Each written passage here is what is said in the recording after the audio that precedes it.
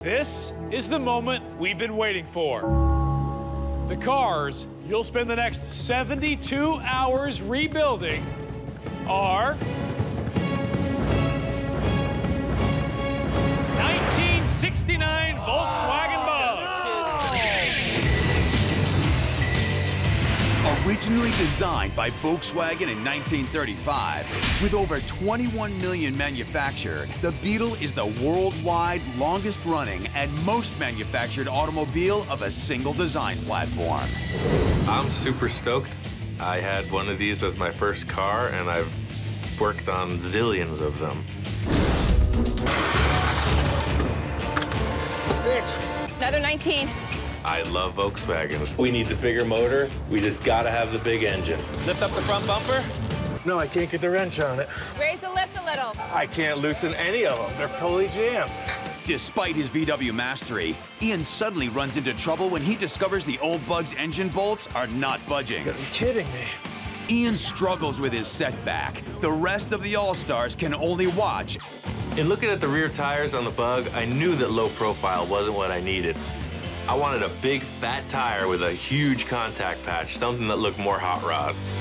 All right, I got all these ideas about this bug, and it's basically like a chop top hot rod, like they do to T-buckets, but to a VW bug. This car is kind of like my high school dream ride. I've been thinking about this for literally 20 years. So we're gonna basically bob off the front of the car and the back of the car, put this giant motor in it, and chop the top. Typical hot rod formula. We're gonna go with a chop, muscle-looking roadster out of a Volkswagen. How cool is that?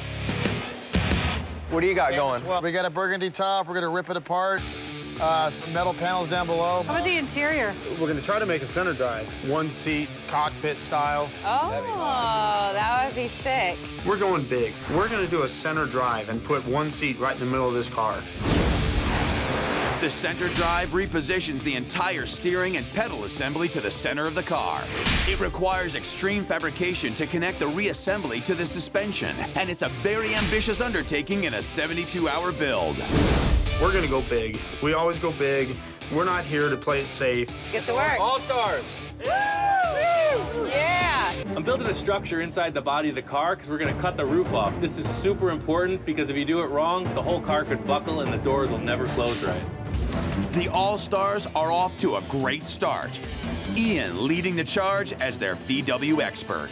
A lot of the All-Stars are asking me opinions and questions on how to put this thing together, and I'm the go-to guy. I've had these cars since I was 15 years old. I know everything about them. Ian is a welding madman right now. So, challengers better be ready.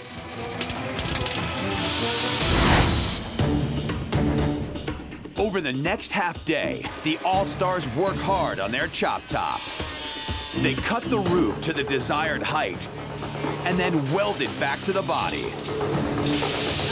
And just over 24 hours into the build, they finish it. The All-Stars are systematically crossing things off their list. They remove their fenders. Rhino has completed his hood artwork F-bomb! and their interior is progressing. Now they're turning their attention to their complicated center drive modification. The center drive has turned out to be a lot of work. Oh, The center drive modification involves two major radical steps. First, moving the steering column. Second, rerouting the pedals to the middle. This is uncharted territory for the All-Stars and could take a very long time to complete. But not everyone is on board with this ambitious idea. You got the steering wheel right over the shifter. You got the seat in the middle. Now you got to move the pedal assembly. And for what? It's an impractical look. It's not a race car. It's not a drag car. It's a street car. this center seat thing is gonna look really, really cool, or it's gonna sink us in the judging. The All-Stars' complicated center drive fabrication is causing them to fall way behind. And some members of the team place the blame on Scott. It's a questionable move. It presents a lot of extra work and a lot of extra problems. Are we doing enough to this car? Is that enough? No, we're not doing enough. Oh, I know. You're gonna keep going overboard like you always do. That's too fucking much, dude. Well, it's too fucking late. Don't you got a whole interior to build? Then start doing body work. What? Then start doing body work. I think Scott's biting off way more than he can chew, and he's taking out a fabrication to an interior that's gonna really screw us over, I think. It's a fucking dumb idea, dude. Oh well, whatever. The whole center steering thing is kind of weird. Are you a fan of the center steering? I'm not a fan of the center steering. We got three people standing around complaining about the work that's going on. What? I said we got three people standing around complaining Because about I'm not a fucking body guy, and I don't I think the seat's I'm a not a stupid idea in the middle. I'm not a painter, I'm not a welder, I'm not a wet sander, but I've done all of that. I've also helped you guys out for a day and a half, too. Come on. Bull. Bull. I help everybody else out, and then when it comes to my department, they all go to bed and leave me by myself. So it's just getting old. I'm tired of tired of dealing with this kind of crap. You know, Rhino wants to paint the car for the entire build. And we got a lot of modifications that we want to do to make this thing over the top. And I get it, but pitch in, you know? Help get the car to paint. There's a lot of work to get this car prepped and ready to go to paint. If you're not willing to help and, and do that, I'm not willing to listen to you. Stupid. He's like, I don't do body work. I said, dude, I don't do paint. I don't do welding. I don't do fabrication, but that's what I'm doing. Well, I'm just sick and tired of people doing a bunch of stuff that isn't really unnecessary, and it's really unsafe. And I mean, whatever happens, happens, I guess. But the long run, it's gonna f us all in time to paint it. How many cars have I wet sanded? How many cars have I blocked? That's nothing to do with me. That's my. I do interior, dude. I'm fabricating. I'm doing metal work. Anything that needs to be done, I'm doing. I'm just a little concerned about the uh, final assembly and in particular the steering. The center steering? You don't like it? It's not that I don't like it, I- it's that I'm, I'm a little afraid that uh, it may not be in the best interest of the build.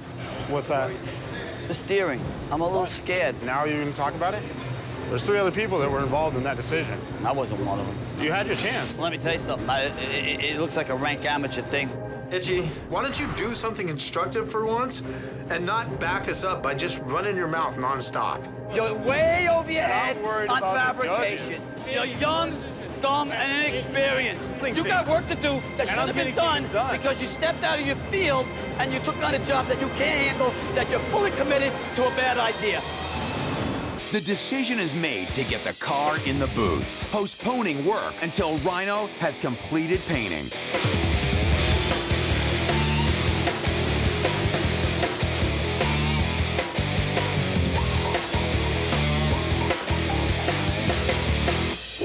What's up? Meanwhile, Rhino is done painting the bug. I think my paint job came out pretty cool, and I did it in a kick-ass time. I think I did it in six, eight hours. That's pretty good.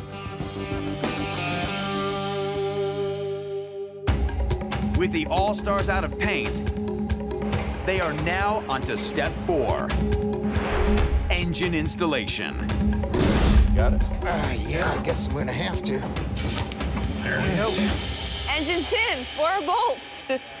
But Ian quickly notices a flaw in their design. There's a huge space between the motor and the bottom of the back of the roof. This mistake is a big design eyesore that will lose points with the judges. To cover this gap, Ian is going to redesign the exhaust pipes. Wait till everybody sees what I got in store for the exhaust.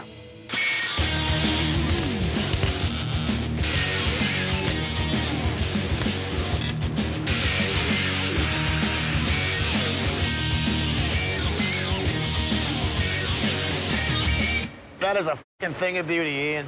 Ian's exhaust is like the topping on the cake. I think that is going to really impress the judges. How are we looking? Pretty good? Semi-good? Not good? Not good. Not good. Instead of wasting more time on the center drive installation, Scott passes those duties off to Ian so he can scramble to catch up on the interior work. Scott has to construct the rear side panels, sculpt the foam, and assemble the dashboard. Time is just becoming a major factor, so I've got to really cut back on what I was going to do overall. Gotta work, Scott. Gotta work. To make matters worse for the All-Stars, Ian is desperately struggling with the center drive modifications.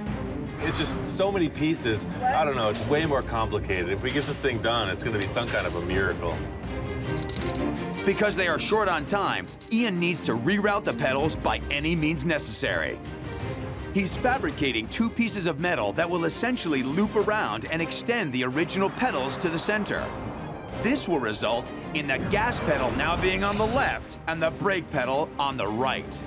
Bottom line with what I'm doing here, it has no aesthetic value at all. It just has to stop and go. And I can't even seem to get it to do that. As Ian tries to make the pedal setup work, the rest of the All-Stars wait and the clock keeps ticking. I need to do carpeting, but I can't do carpeting because he needs to weld. And if he welds on my carpeting, he'll set it on fire. I'm horrified with these pedals. I don't even know if they're gonna work. Five hours left. Ian finally finishes the All-Star Center Drive. All right, done. Carpet, dashboard, and seats get installed. I honestly blame the center drive for this whole time crunch. We're down to the wire here. Every motor has variables. Get the throttle linkage hooked up, make sure the timing's right, and get it wired. The All-Stars race to start their engine. This car's my baby. This engine's gotta start. We are not gonna finish this build without it running. 30 seconds left. The All-Stars engine has yet to start. I just got amped. Told him to throw fuel in the carb and get it.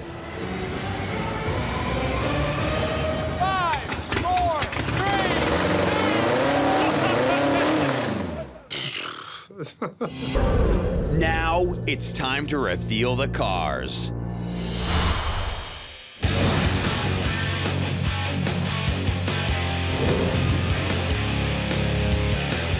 F-bomb.